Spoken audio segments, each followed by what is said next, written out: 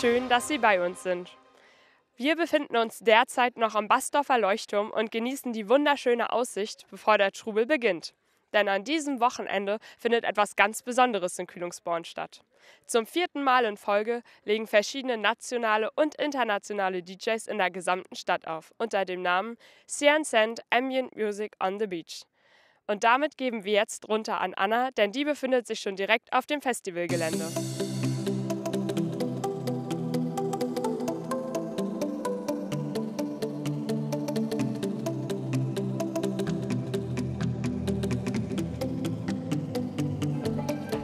Auch ich begrüße euch nochmal recht herzlich hier am Kühlungsborner Strand westlich vom Bootshafen.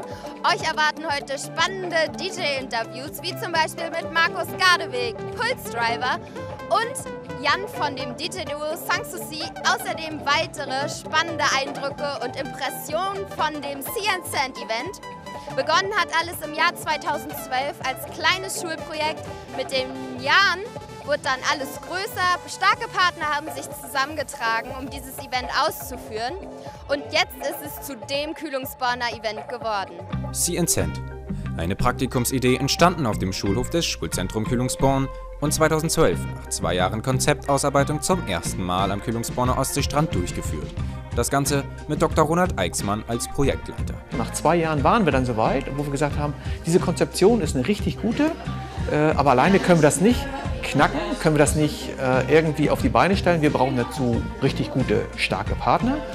Äh, das haben wir dann gemacht, sind auf die Suche gegangen und haben sehr viele, ich sag mal, finanzkräftige, aber auch enthusiastische Partner in Kühlungsborn gefunden.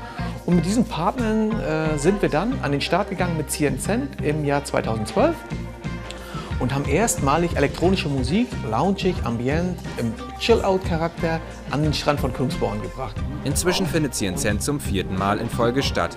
Einmal wöchentlich treffen sich an die zehn Schüler und tragen ihre Ergebnisse und Fortschritte im Rahmen des Organisationsteams zusammen.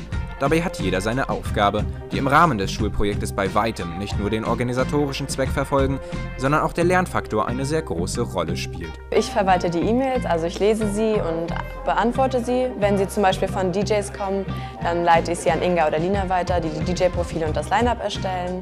Und ansonsten wollen Inga und ich demnächst einen 10 Cent Online-Shop erstellen. Auch die Online-Vermarktung des Events ist ein entscheidender Punkt der Medienpräsenz, um den sich Farina Fröhle und Anna-Sophia Schulz täglich kümmern, damit Teilnehmer und Fans auf dem Laufenden gehalten werden. Ich mache bei CN Cent die Website-Betreuung, das heißt, ich bringe alle neuen News, die wir haben, zu den DJs oder zum Line-Up halt auf die Website. Und ich bin dann so im ständigen Austausch mit allen anderen, die bei uns mitmachen, so dass wir dann halt immer untereinander absprechen, was die neuesten Sachen sind, die draufkommen auf die Website. Ich bin für die Betreuung der Facebook-Seite zuständig. Ähm, dazu zählt ähm, das Posten von DJ-Profilen oder, wenn CNCN vorbei ist, ein Kurzfilm darüber, wie wir am Strand chillen, ambiente Musik hören und unter anderem auch die Beantwortung von ähm, DJ-Anfragen. Das Konzept von CNCN verspricht ein Event, bei dem es nicht um herbeiströmende Massen geht. Vielmehr sollen die Gegebenheiten genutzt werden, die zur Verfügung stehen. Ich glaube, der Erfolg dieser ganzen Geschichte ist diese Symbiose aus den jungen Leuten mit ihren Ideen und eben dem, äh, der Fachkompetenz der Partner, die wir haben. CNCN als ein innovatives Erfolgskonzept hofft das gesamte Organisationsteam auch dieses Jahr auf ein gelungenes Event. Ich freue mich auf dieses Event und bin da guter Dinge, dass wir auch dieses Jahr eben richtig viel Spaß am Strand haben werden.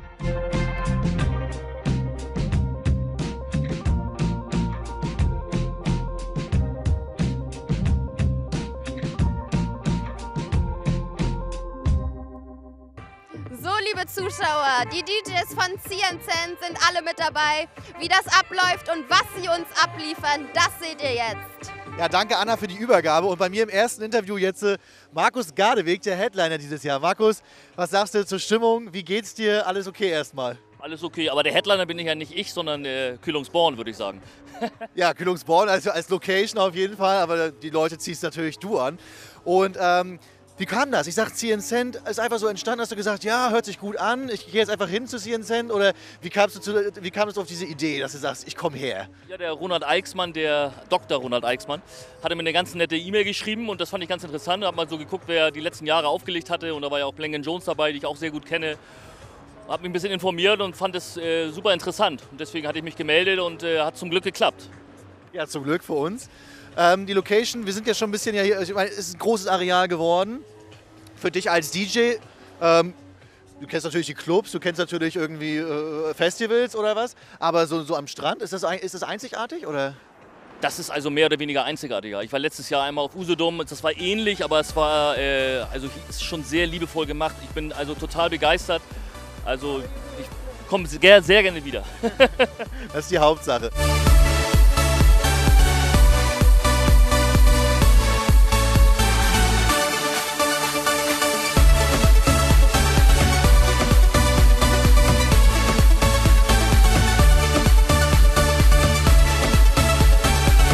Markus, du bist natürlich mit Con- Contour Records unterwegs, ähm, dem Label, dem du ja beiwohnst.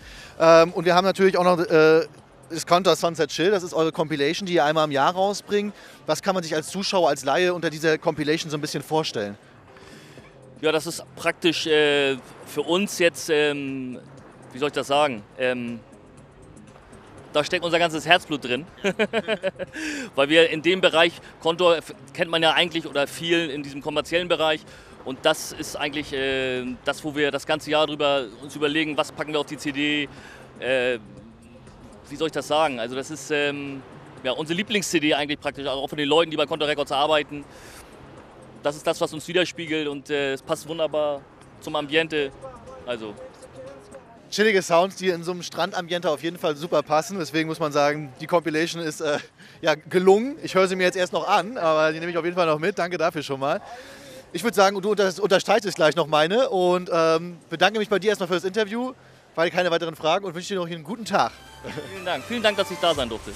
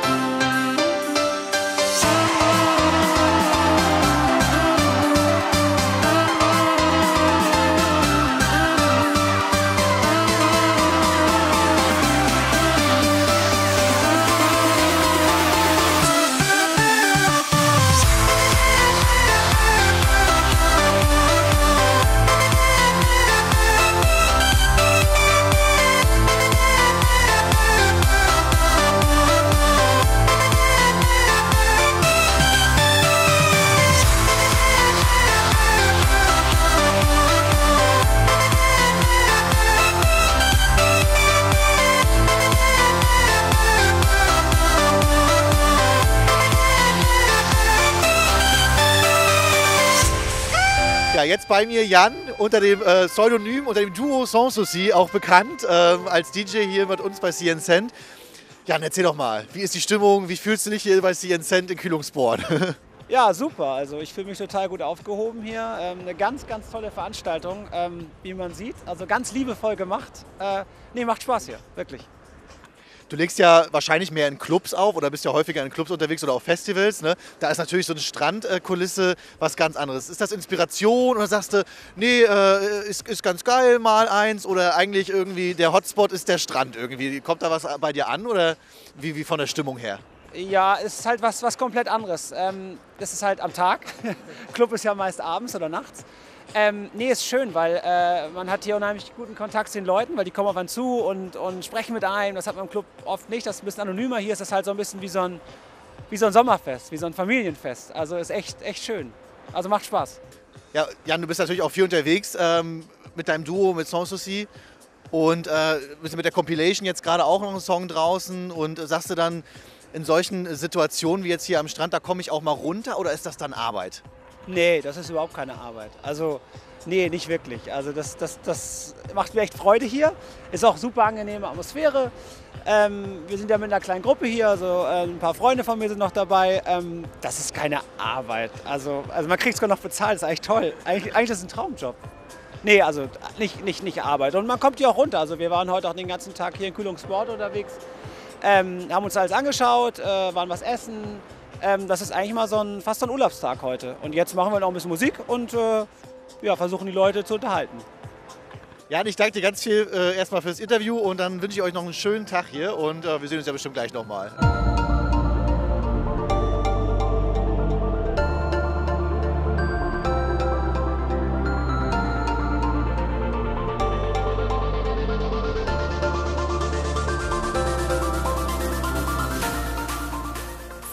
Machen hier Urlaub in Kühlungsborn? Ja, wir sind extra wegen Sea in Sand gekommen. Oh, das ist sehr schön zu hören. Dieses Ambiente ist natürlich auch sehr einzigartig.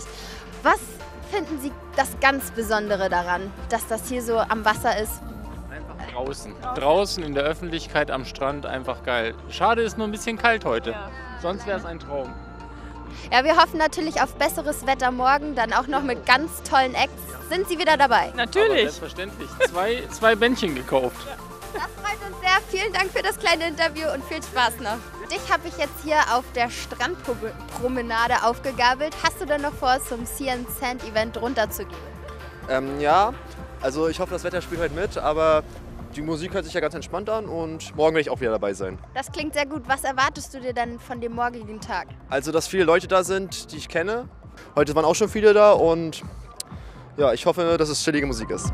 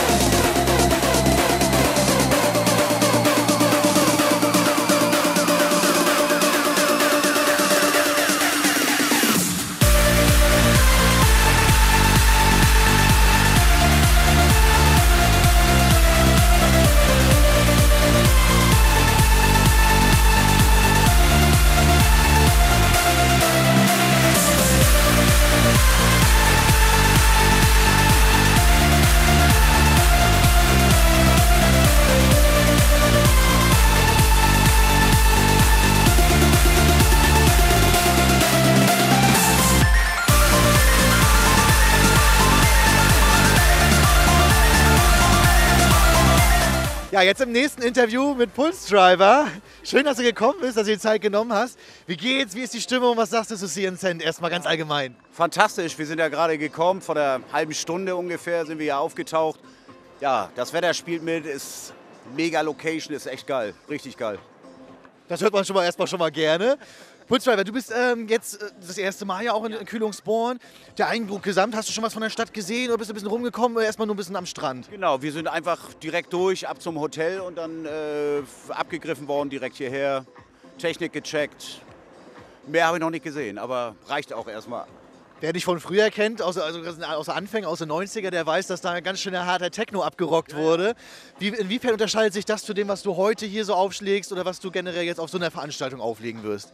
Also da ich ja an sich auch viele Resident-Geschichten auch habe, ähm, spiele ich ja sowieso von bis. Ne? Also musikalisch, äh, wer ich sag mal in den 90ern angefangen hat, kann eigentlich stilistisch sich nicht auf einen Sound festnageln. Also dann hast du früher oder später irgendwie mal verloren. Also Musik ist übergreifend. Und äh, da jetzt zu sagen, ich höre nur den Sound, den Sound, das ist, also das macht ja keiner. Und auch äh, als DJ irgendwie jetzt zu sagen, ich spiele wirklich konstant nur das und das. Also die Musik entwickelt sich immer mehr und mehr und äh, da muss man auf allen Seiten äh, muss man da aufgestellt sein. Ne? Und was, was damals mal äh, 160 Beats waren, äh, sind dann heute 120 Beats oder so. Ne? Also gerade der aktuelle Sound, dieser, dieser schöne, chillige Deep House Sound, der ja auch mega populär in den Charts ist aktuell, ist halt eine Sache, die mir auch äh, zusagt. Ne? Also auch als DJ, dass man da echt Spaß dran hat, sowas aufzulegen, weil die Stimmung auch entsprechend, wie soll ich sagen, lockerer ist als, äh, als vor ein, zwei Jahren noch. Ne? Ja, kann ich, äh, klar. Also man muss, man muss mit der Zeit mitgehen und man passt sich an und das ist auch vernünftig. Ne? Fußball, ich habe eigentlich schon gar keine weitere Frage. Ich wünsche dir auf jeden Fall hier heute einen geilen Gig, eine geile Stimmung und war schön, dass du mir ein Interview gegeben hast. Es ging schnell und schmerzlos. Ja, ich werde Spaß haben heute Abend. Alles klar, danke dir. Dann würde ich sagen, gebe ich mal wieder zurück zu Anna. So, liebe Zuschauer, dieses Event ist wieder rundum gelungen gewesen. CNCN 2015 war natürlich nur möglich mit unseren ganzen Sponsoren, Partnern und vielen Helfern. Nochmal ganz, ganz dollen Dank. Ich verabschiede mich jetzt von euch und hoffe, dass ich euch im nächsten Jahr wieder begrüßen kann. Den Abend werde ich jetzt mit den anderen hier unten noch verbringen. See you at CNCN 2016.